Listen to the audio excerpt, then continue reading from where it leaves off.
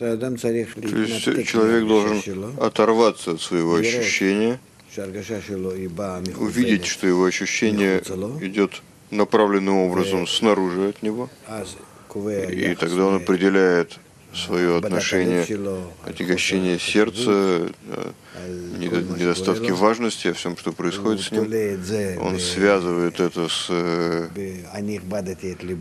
«я отяготил сердце его», и, соответственно, этому он уже начинает выстраивать свое отношение к выходу из этого состояния. То есть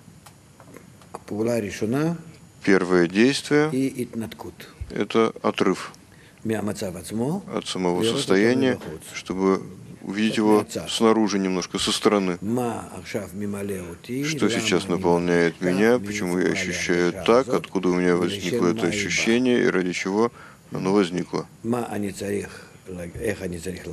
Как я должен реагировать на него, как я могу все, в особенности это ощущение, перевернуть на рычаг для продвижения.